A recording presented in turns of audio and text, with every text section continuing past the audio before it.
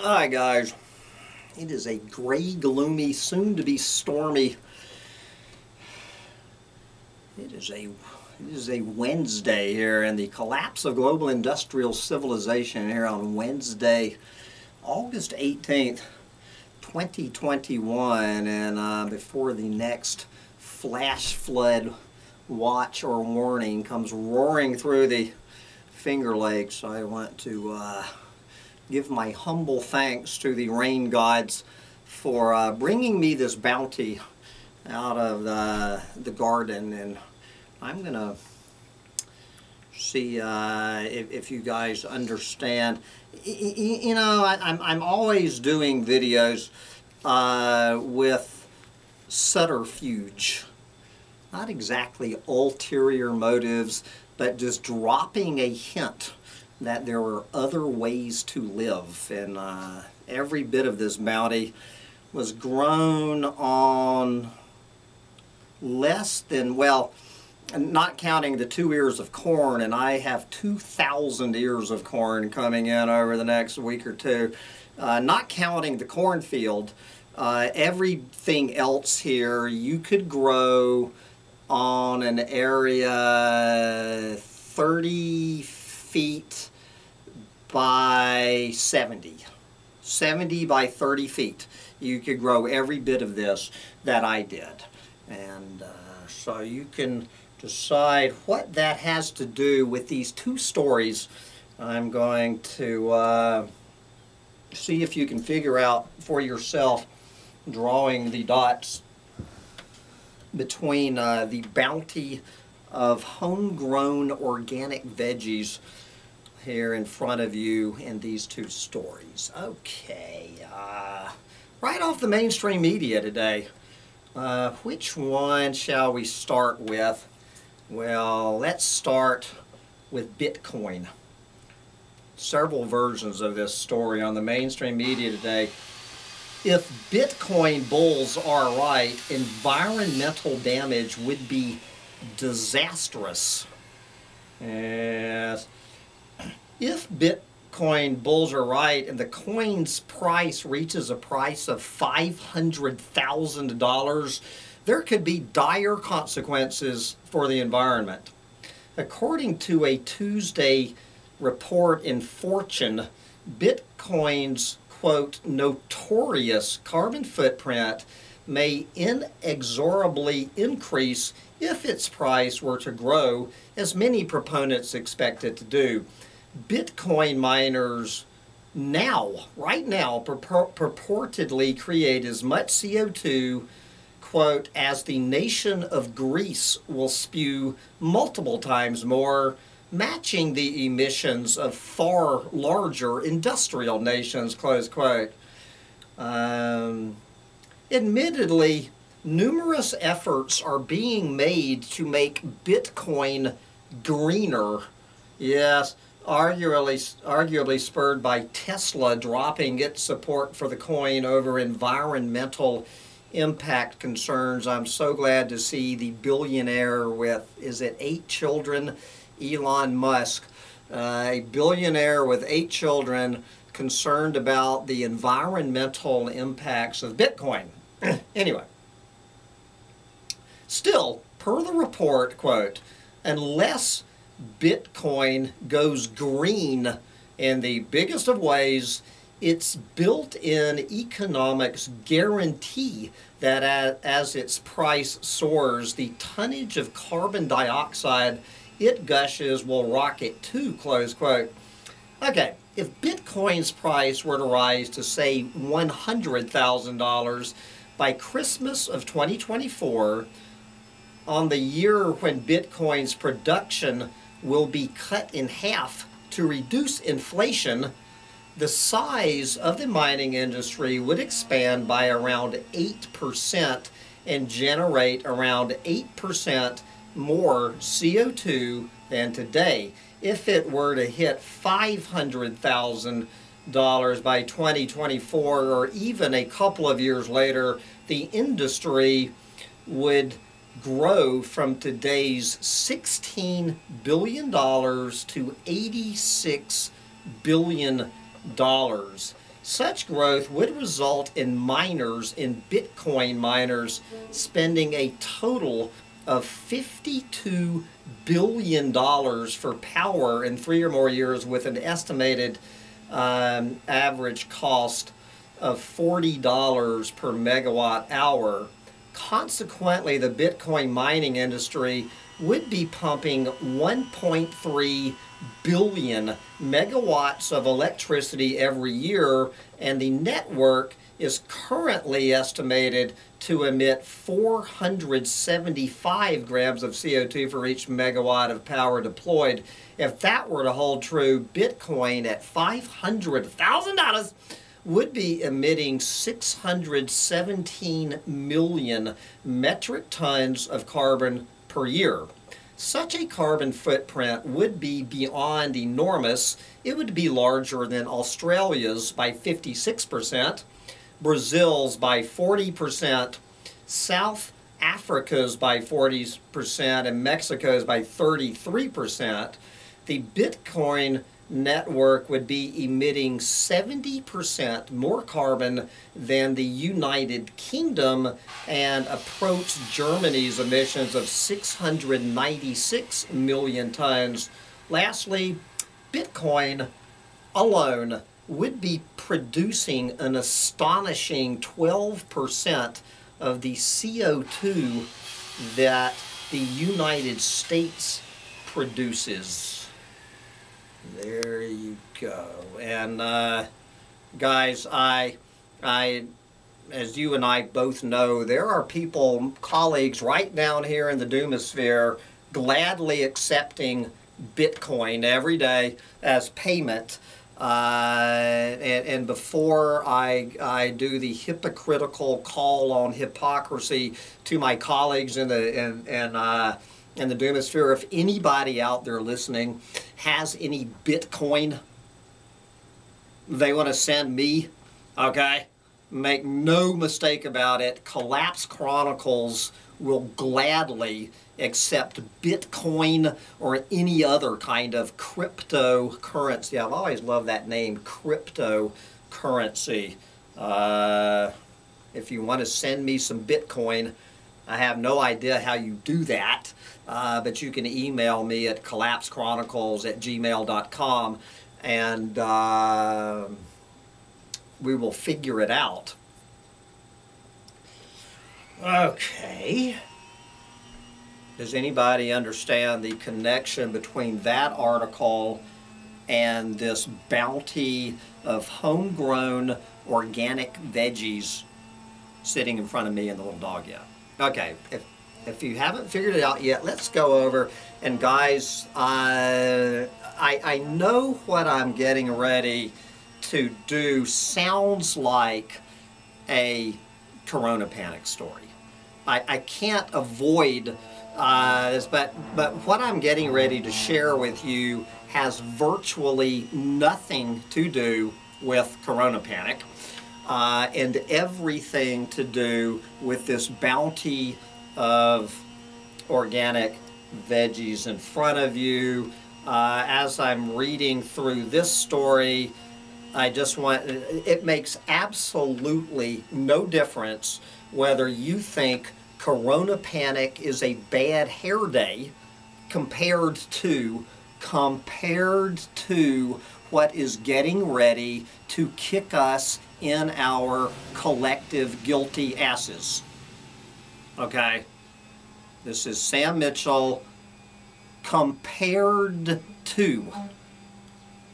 Uh, whether you think it's a bad hair day or whether you believe corona panic uh, is the single biggest threat to both humanity and the planet and should be the number one story on planet Earth is irrelevant to the what is really going on behind this story and the dots connecting to this pile of veggies in front of me.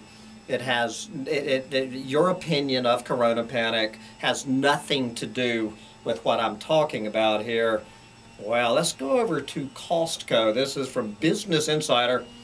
Costco shoppers say some stores are out of toilet paper and water as evidence mounts that consumers may stockpile items amid the spread of the Delta variant. We're going from uh, the C word to the D word.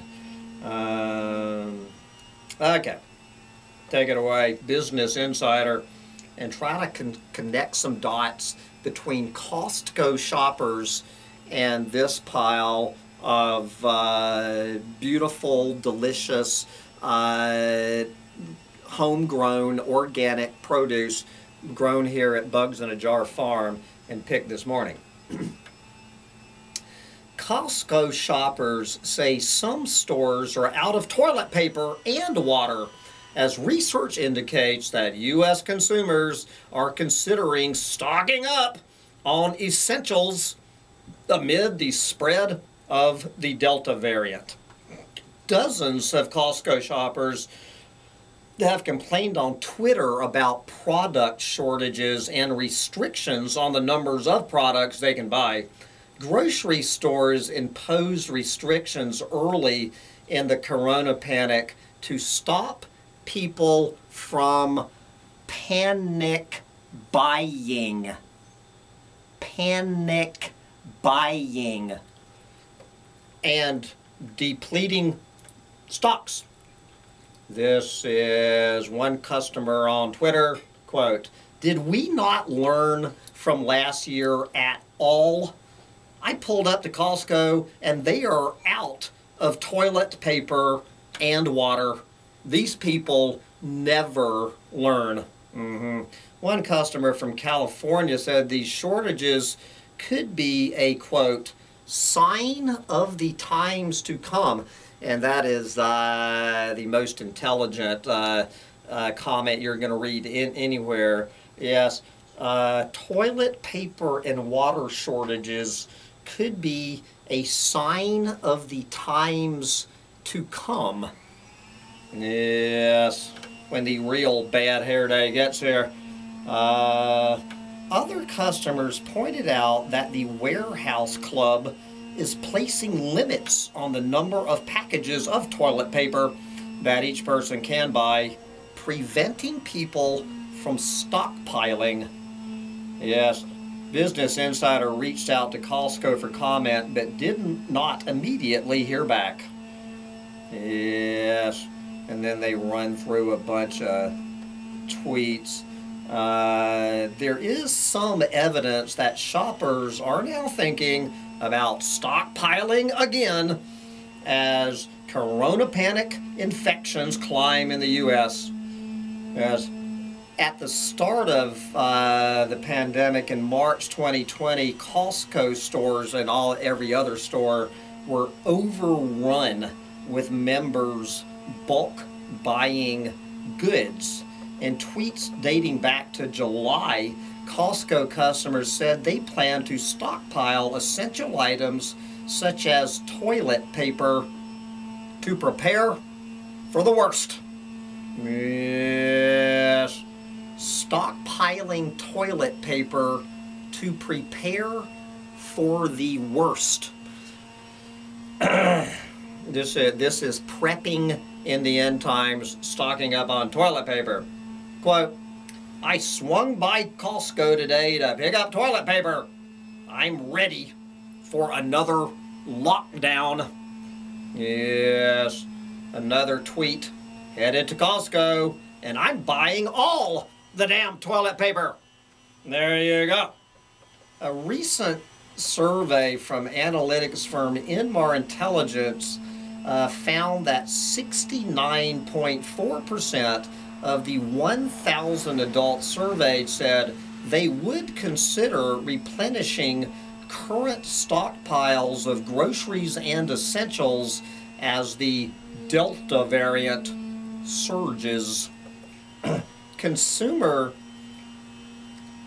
consumer stockpiling could become an even bigger issue for grocery stores now than earlier in the corona panic because retailers are grappling with ongoing supply chain and labor issues the problems are leading to long delays and shortages and forcing prices upward. Because of this, grocery chains are also stockpiling goods to shield themselves from price increases and protect margins, uh, said David Smith, CEO of Associated Wholesale Grocers. Quote, our inventories are up significantly over the same period last year. We are buying a lot of everything. He said, we are buying a lot of everything. So if anybody is still scratching their heads, what, what are the dots that Sam is trying to uh, draw between uh, those between the Bitcoin and toilet paper shortage uh, articles and this beautiful pile of organic uh, veggies in front of them uh, in front of him. Well, uh, you know, can you say greed and fear?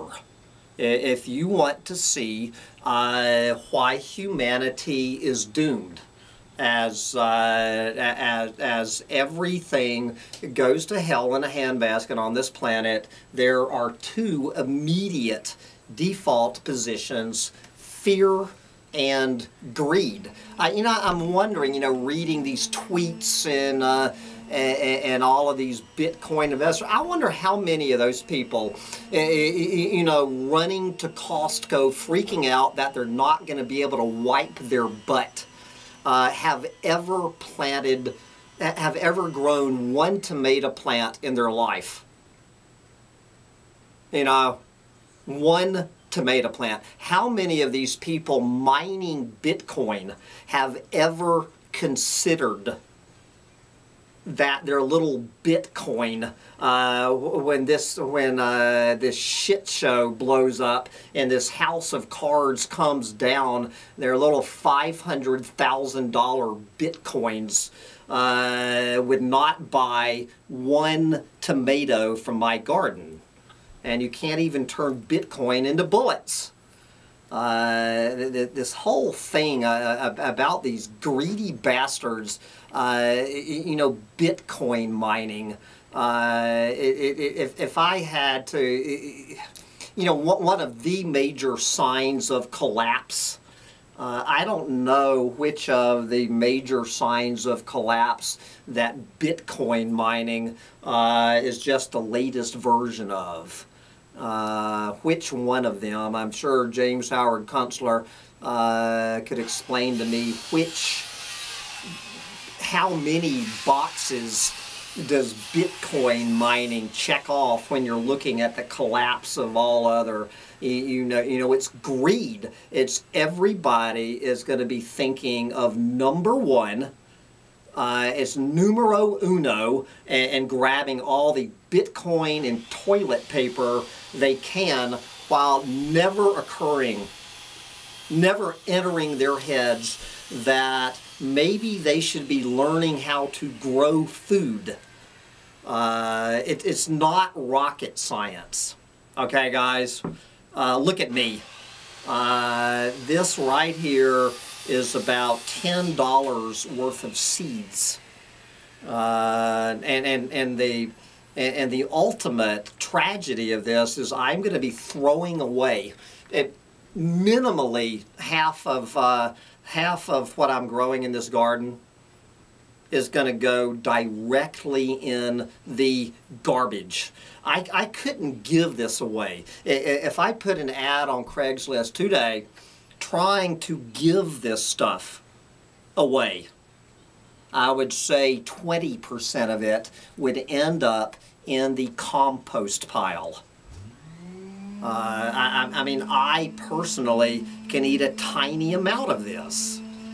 Uh, and anybody uh, in the Finger Lakes, you, you, know, within an hour of, uh, of Ithaca, New York, well, Candor, New York, come and get it. Anyway, I got to wrap this up because uh, I have a BLT with my name on it And uh, then we got to get ready to uh, sandbag the house, I guess. Get out there and grab all the toilet paper you can while you still can. Because uh, your unwiped ass is going to be the last thing on your mind soon enough. Hush, little dog.